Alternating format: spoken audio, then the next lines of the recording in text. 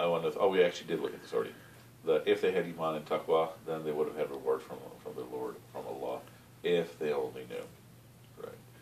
And so, think also from the perspective of the power of the last two surahs, that it's very easy to underestimate how powerful those two surahs are.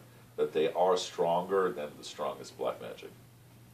So to really do the math, if you say A'udhu billahi min shaitan that's stronger than shaitan.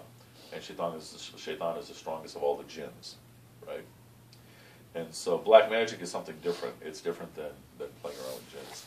Uh, the last two quls are stronger than, than black magic. Doesn't mean that if you just recite it once, it's going to go away. You might have to do it repeatedly because the people who are doing the black magic might also be relentless, attacking you and attacking you. I received a question on those surahs yesterday. Is it okay to use black magic to fight off black magic? That you will find some people, some of those exorcist type people, they will uh, they'll use other forms of black magic to fight off the black magic, and I'm of the opinion that that's fighting fire with fire as opposed to using the Quran, which is fighting fire with water. Yes, ma'am. One more last Yeah. question before prayer. We still have ten more minutes for. Oh, we have ten more minutes. Okay, Yeah. I just got the buzz just now.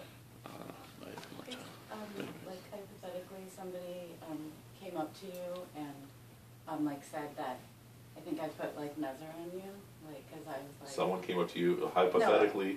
someone hypothetically comes up to you hypothetically and says, "I think I, I, I hypothetically I, put- hypothetically Like put something- Nazar on you." Like, like, so let's say like some unfortunate stuff is going on, someone Uh. comes up and says, you know, I'm sorry about like what's happening with you. I think I may have like Caused it. Nazar on you, cause I was like, So do Nazar back. No, I'm kidding. kidding, kidding. somebody says, like, should you do something, like? The- I mean, it depends on how good your heart is. So the good heart would be to recite the, the surahs, right? The quls. No, not because you have any problem with that person, whatever, but like just like, do you have like something on you or like? Yeah, I mean, how it manifests is a very strange thing. Okay, so I mean, like not with like knots or bone, chicken bones, but like someone's like outright telling you. I was like, I know it's like. yeah, they probably shouldn't be telling that anyway. But Does that show that there's something wrong with them too, or like saying? Why shouldn't they be telling you that? It's like walking up to someone and saying, "Yeah, I was backbiting you." How are you going to respond? Like, if you Or I, I had bad thoughts of you. Please forgive me. Okay, so if someone came up to you and said, "Hey, I was backbiting you," I said this about you, and I said this about you. How are you going to feel? You know what's so funny? I had a friend who, when she met me, she goes, "I just have to be honest before you hear about it." She goes, "When I met you, I did not look good."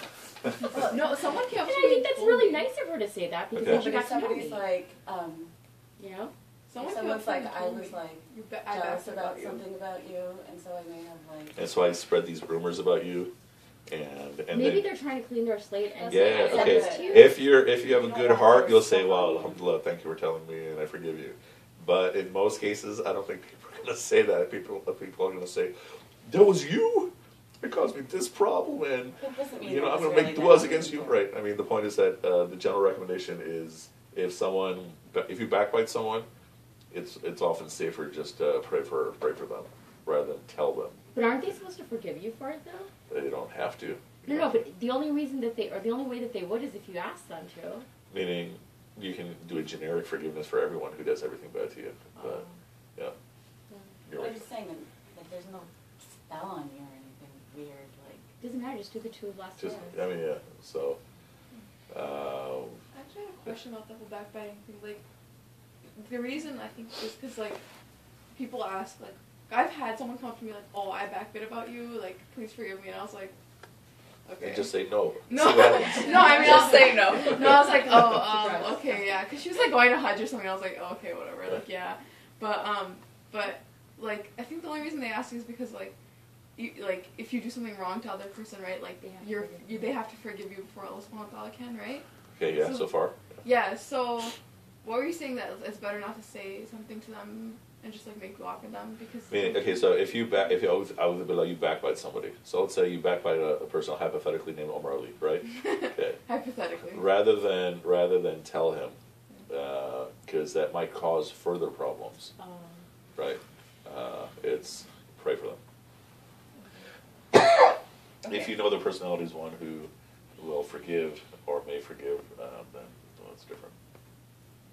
Okay, I have a question about this ayah, like one of three. Yes. Because I think I think in general it's like uh it's like the cure for like trying to take shortcuts for Yeah. anything, you know, like lying, cheating, stealing, all of this stuff, right? Yeah. So it's like if they'd accepted faith, been God fearing, and then and then I think the last part is what I'm just kind of confused by. Yeah. Like that's like that's like in the power of Allah subhanahu wa ta'ala. Like we can't know though. It's like a I, I, don't- I don't understand how like a person can know. You know? So so it changes to like What is your if they question? I'm not. so like it's saying basically you know it would have been better for them if they had belief in taqwa and they would have got reward from their If Lord they knew, yeah. if they only knew. Uh, and so think about this, uh, translating this as if they only considered what they're doing, right? If they only understood the seriousness of what's at hand, Okay. right?